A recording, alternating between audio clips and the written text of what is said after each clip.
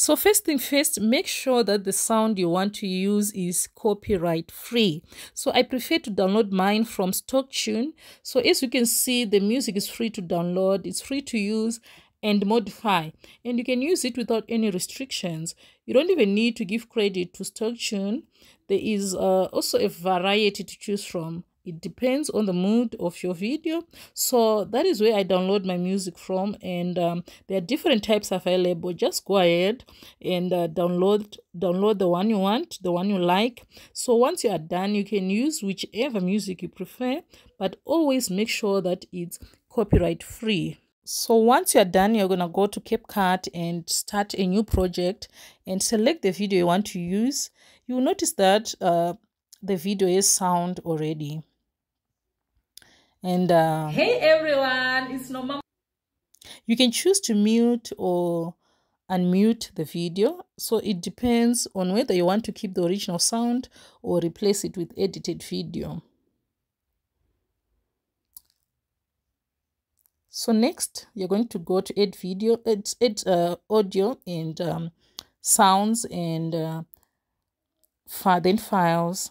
Go to device and find the sound you just downloaded, the one you want to use as your background music. And once you've selected it, you can play the video.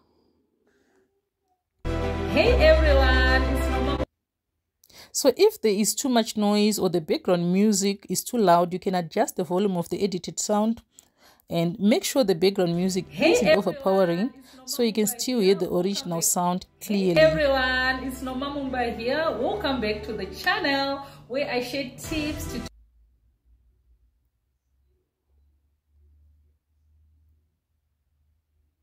So there's an option, there's also an option to completely lower or remove the audio at certain points in your video. So to do this, uh, split the video at the beginning and end of the section where you want to remove the sound. Then once you, you've done that, you're going to go to volume and lower it for that part.